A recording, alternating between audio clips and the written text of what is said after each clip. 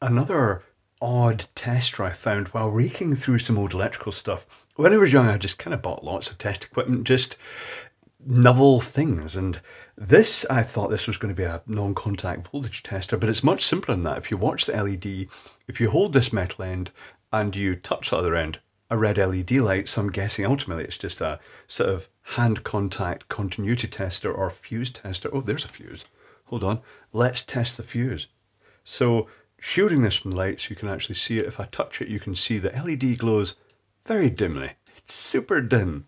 That's okay. Again, it's very old. Uh, and this came from Maplin Electronics in the UK.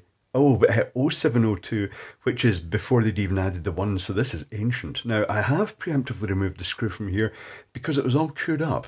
I don't know if I opened this when I was young. I probably did to see what was inside, but certainly it's not been opened for decades. Now, if I take the end off it, it unscrews and it's quite nice actually. The end is kind of machined and it's also got a separate battery connector that bridges across the end of the battery onto the little side contact, which is nice.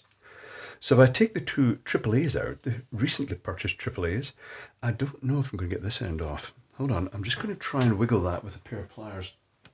I'm not too bothered about saving this because uh, it is one of these things that uh, it's not something I'd really use these days. I'd use a tester. Is this going to come off? Is it going to unscrew? Is it going to come off at all? It's going to. It's friction fitted. It's got a spring. Okay. Now let's pop it apart. There's one transistor. Okay, this is very reminiscent of those pens you get, the voltage tester pens. I wouldn't actually use this to test live connection, certainly not on 240 volts. Uh, is this going to come out? It's barged across. It's just really crude. But then that's just really the sort of things that Maplin would occasionally sell. Ah, we all miss Maplin. It was an electronics supplier in the UK that kind of went out of business because, well, the cost of property rent went up with the, their high street shops and they couldn't really compete with that. Uh, this is not coming out easily. I tell you what, I'll wiggle it out and then, oh, it's out. And then I'll, oh, God, blimey, it's got three resistors. How exciting. And a transistor. Uh, I shall reverse engineer this and we'll see what the circuitry is like. One moment, please. The reverse engineering is done. Let's explore. The most notable thing about this circuit is it uses a single transistor here, but that is actually an MPSA14, which is a Darlington transistor. It uses two NPN transistors that are cascaded.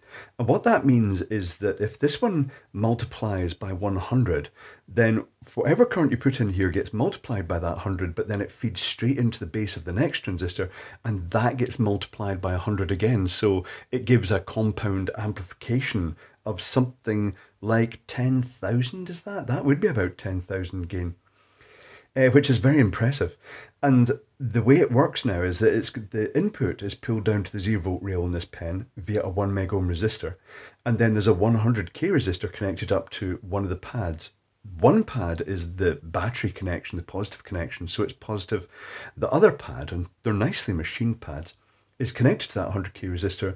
So when you bridge those two pads, current flows gets amplified up and then it lights this LED via a 100 ohm resistor. And the one way this could be improved these days is just by replacing that uh, with a brighter LED because again this is ancient it's really old and LEDs have increased in efficiency massively since this was first made but it's nice it's a lovely retro vintage style circuit. Well, it's a vintage product from the era that you'd have found stuff like that. And uh, the closest relation these days is those voltage testing screwdrivers that have the little stack of button cells inside and the LED in a little sleeve inside the screwdriver and they work on a similar basis but this resistor here is rated for well hopefully it's rated for mains voltage so that when you touch the tip of the screwdriver to a live connection it will make the LED glow but it will also glow when you actually touch the end of the screwdriver and the tip for continuity testing. That's literally evolved from this original style of product.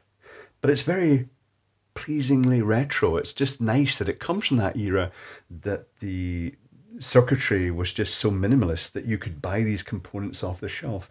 It's completely serviceable as such and hackable for making that brighter with a modern LED. Quite nice. Really a smart little unit.